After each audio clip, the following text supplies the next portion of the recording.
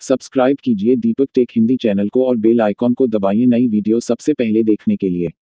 नमस्कार दोस्तों good evening मैं हूँ दीपक कुमार आप देख रहे हैं दीपक तक हिंदी चैनल दोस्तों, आज के इस वीडियो में मैं आपको बताने वाला हूँ व्हाट्सएप से रिलेटेड कुछ इंपॉर्टेंट बातें। हालाँकि मैं इसके बारे में वीडियो बनाना नहीं चाहता था, लेकिन कुछ दिनों से कई मैसेज आ रहे हैं मेरे को और मैंने देखा भी है कि बहुत से लोगों का व्हाट्सएप अकाउंट बैन हो चुका है। और ये बैन क्यों हुआ है, इसके बारे में वो लोग खुद नहीं जान रहे, ठीक है? तो आज इसी के बारे में मैं आपको बताता हूँ, अगर आप व्हाट्सअप ग्रुप या व्हाट्सअप का इस्तेमाल करते हैं, बहुत ज़्यादा दिन में कम से कम पाँच छः घंटे लगातार तो ये वीडियो आपके लिए, इस वीडियो को आप लास्ट तक ज़रूर देखिए, शायद इसमें आपका कुछ फ़ायदा हो जाए और दूसरे का भी देखने वाले का इस वीडियो को ज़रूर शेयर करना देखने के बाद। तो चलिए दोस्तों, वीडियो को स्टार्ट करते हैं बिना समय गवाए। देखिए, सबसे पहले मैं आपको दिखा दूँ, अपना दोस्त का एक जो है मेरा व्हाट्सअप वो नंबर उसने दिया है, मैं उसको लॉगिन करके आप दिखाता हूँ, ठीक है? जैसे कि मेरे पास एक वो पैरल स्पेस है, उसमें से मैं उसका व्हाट्सएप में लॉगिन करूँगा, ठीक है? क्योंकि मेरा अलग है। तो जैसा कि मैं पैरल स्पेस ऑन कर लूँ, पहले ये देखिए, इस पर हमने क्लिक किया। तो ये जो ओपन होता ही होगा। ओपन हो गया तो व्हाट्सएप गया व्हाट्सएप हम क्लिक करेंगे और यहाँ पे इसका मैं नंबर एंटर कर रहा हूँ। एग्री एंड कंटिन्यू पे क्लिक करके। तो नंबर मैं एंटर करूँगा।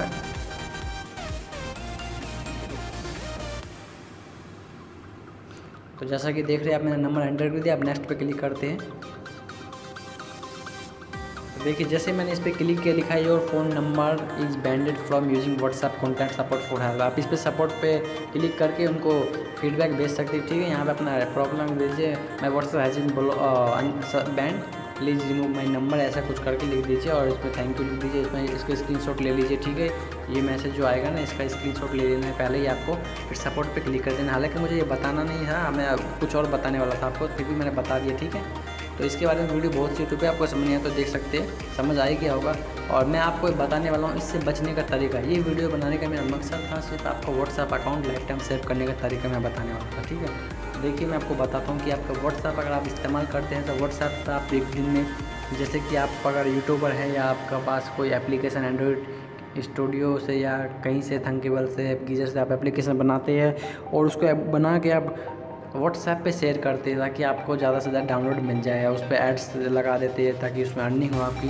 तो दोस्तों, ये सही बात है, आप शेयर कीजिए, लेकिन इसका शेयर करने का तरीका आप लोग नहीं जानते, बहुत से लोग नहीं जानते, उसका गलत इस्तेमाल करते और आखिरकार उसका अकाउंट बैन हो जाता है, फिर दूसरा नंबर से वो फिर से सारी अकाउंट को लॉगिन करते ग्रोथ बैन करते, ऐसा करना पड़ता है। तो इससे बचने का तरीका मैं आपको बता रहा जैसे कि देखिए, आपको कुछ एप्लीकेशन बनाए, चाहे यूट्यूब का लिंक है सपोज़ कीजिए यूट्यूब का लिंक है, आप उसमें व्हाट्सएप पर आप शेयर करना चाहते हैं, ठीक है? तो शेयर कीजिए, लेकिन उसके लिमिट में, जैसे कि एक दिन में आप सिर्फ़ बीस आदमी को शेयर कर सकते हैं, उससे ज़्यादा नहीं कीजिए, ठीक है? क्योंकि ये व्हाट्सएप के लिमिट के खिलाफ व्हाट्सएप आपको अलाउड करता है कि एक दिन में आप ट्वेंटी आप पीपल को व्हाट्सएप मैसेज सेंड कर सकते हैं वो लिंक जो भी शेयर कर सकते हैं। शेयरिंग का ऑप्शन सिर्फ़ ट्वेंटी लोग को, एक दिन में for day twenty peoples you can share otherwise आपका वो अकाउंट बैन कर देंगे। जैसे कि आप एक दिन में फॉर एग्ज़ाम्पल सपोज़ कीजिए पचास आदमी आपके ग्रुप में है तो आपने पचास आदमी को टोटल सिर्फ़ एक ही टाइम में वो मैसेज शेयर कर दिया एक ही दिन के अंदर। तो ऐसा आपको बिल्कुल नहीं करना। अगर आप ऐसा करेंगे तो आपका अकाउंट डेफिनेटली हंड्रेड परसेंट वो लोग बैन करेंगे। इस बात को ध्यान रखिए, ठीक है? ये बस छोटी सी बातें मेरे को आपको जो बतानी थी, ये बहुत इंपॉर्टेंट है। ऐसा करते हैं और देखिए, दूसरी बात मैं आपको बताता हूँ, कि जैसे कि आप कोई आपका फ्रेंड है या कोई भी आपने किसी का नंबर लिया है गर्लफ्रेंड हो गया जो भी हो गया आप उसको बार बार मैसेज कर रहे हो, उसको परेशान कर रहे हो, वो रिप्लाई नहीं कर रहा है तो व्हाट्सएप समझ जाता है कि ये आदमी उसको तंग कर रहा है व्हाट्सएप पे एक ये आदमी सही नहीं है, बंदा कुछ ना कुछ गड़बड़ करने के लिए आया है तो वो आपका अकाउंट बैन कर देंगे और वो लोग जो भी है, आपसे परेशान होकर आपके नंबर पर स्पैम पर क्लिक कर देंगे, ठीक है? जो स्पैम करने का ऑप्शन होता है, उससे आपका अकाउंट स्पैम लिस्ट में चला जाता है और व्हाट्सएप समझता है कि आदमी बेकार है कुछ गलत काम करने आए तो उसको सीधा वो बैन कर देते हैं, बिना कुछ सोच समझे, ठीक है? और आपका प्रॉब्लम है वो, फिर आप नया नंबर से बनाइए वो कोई प्रॉब्लम नहीं है।